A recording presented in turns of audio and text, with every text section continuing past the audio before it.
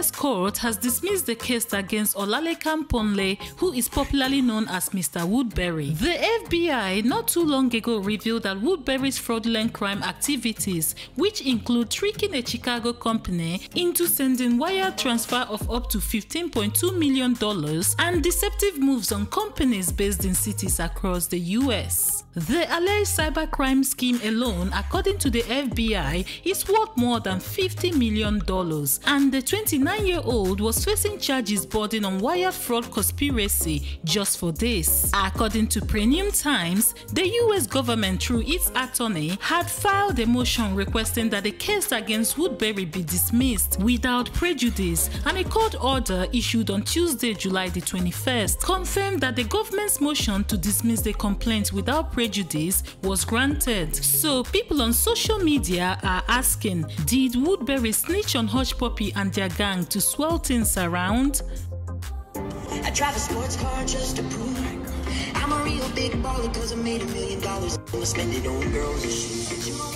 Hello guys, it's Nolin here from African Glitz. As we all know, Mr. Woodberry was arrested in the United Arab Emirates on June 10th alongside popular Nigerian social media big boy Hushpuppi and 10 others after a massive raid by the Dubai police. He was facing charges bordering on wire fraud conspiracy at the United States District Court in Illinois. The FBI also presented a case on how Woodberry was nabbed through detailed access from his WhatsApp, iPhone and Bitcoin transactions following his 2019 movements.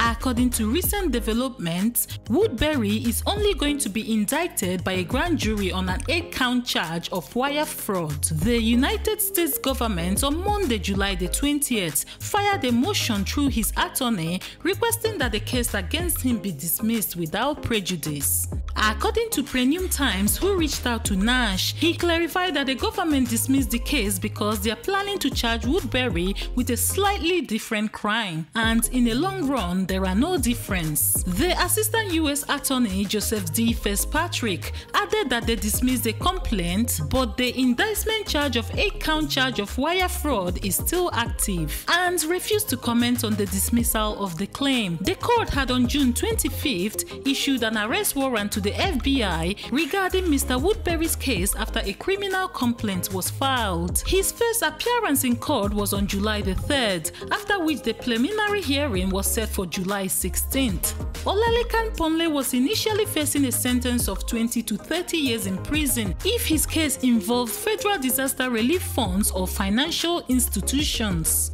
In June of 2020, Ali Sadiq, a special agent with the FBI, compiled a criminal complaint document and chronicled how the bureau tracked him down through his online activities and the criminal complaint documents were filed at the court. He stated that Mr. Ponle aka Woodberry, who often adopted the nickname Mr. Kane, which he used to defraud several United States-based companies through business email compromise BEC schemes and how the scheme compromises legitimate business email accounts through computer intrusion techniques or social media engineering and uses those accounts to cause the unauthorized transfer of companies' funds.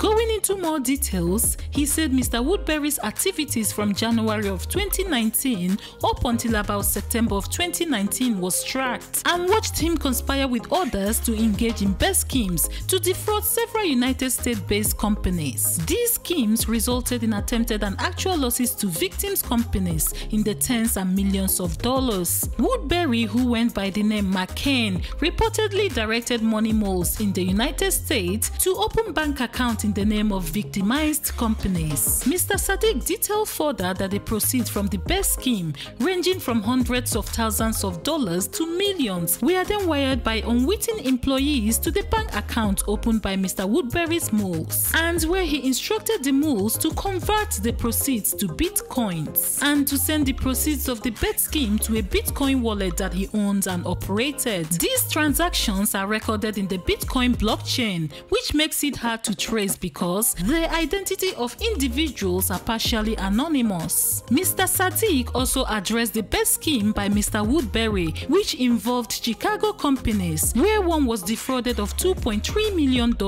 and the other sent wire transfer totaling of $15.3 million. Preliminary blockchain analysis done by the FBI indicated that the 29-year-old received bitcoins related to the BEC schemes valued at over $6 million.